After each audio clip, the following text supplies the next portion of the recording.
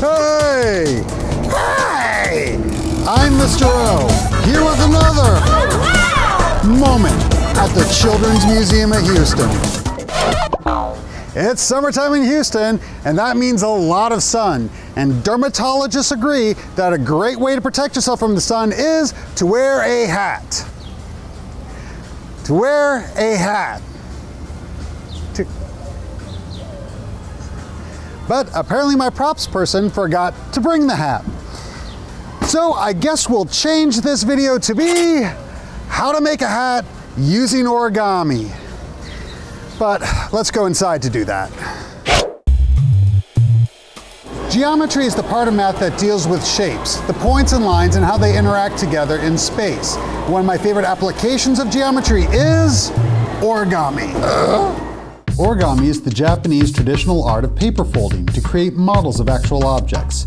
It involves folding shapes, triangles, squares, rectangles, parallelograms, etc. in order to create the final product. So we're gonna apply origami techniques to make a hat, specifically a samurai hat. Let's get folding. Science is fun, but it can also be dangerous, so always have a responsible adult helping you. We're gonna make a samurai hat. To make this, you're going to need paper. We're gonna start with origami paper just so you can better see the folds. Then we're gonna use newspaper to make it big enough for you to wear. First, we're starting with a square piece of paper. We're gonna turn it so that it's a diamond shape. Take the top point and fold it in half down to the bottom point to form a triangle. Now, take the left point and fold it down to the bottom point to form two triangles.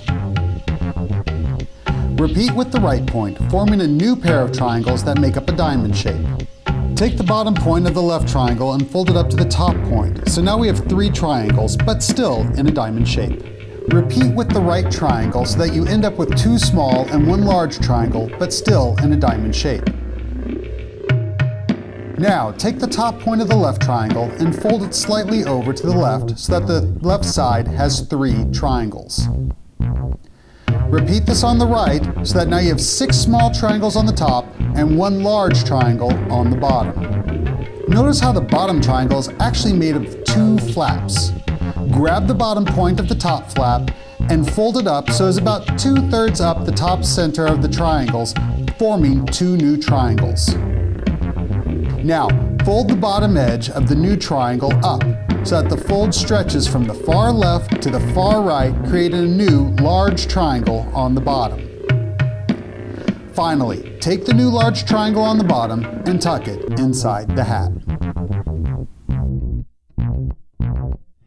Obviously, this hat is a little bit too small to wear. So we're gonna need to make something a little bigger out of a bigger piece of paper, like a newspaper. Now, the wonderful thing about origami is that because it's based upon geometric principles, you can scale it up in size without having to change any of the folds. First, turn it to be a diamond. Fold it into a large triangle.